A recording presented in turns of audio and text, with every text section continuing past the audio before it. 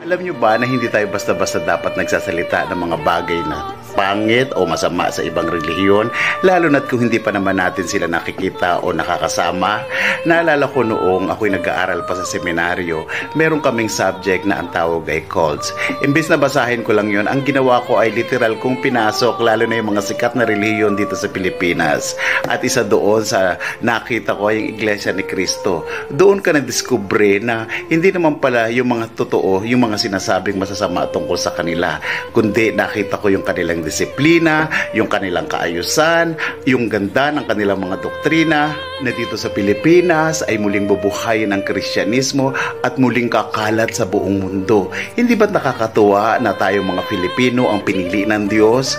Tatandaan po ninyo, hindi po ako iglesia ni Kristo, pero ikinararangal ko ang relihiyon ng iglesia ni Kristo.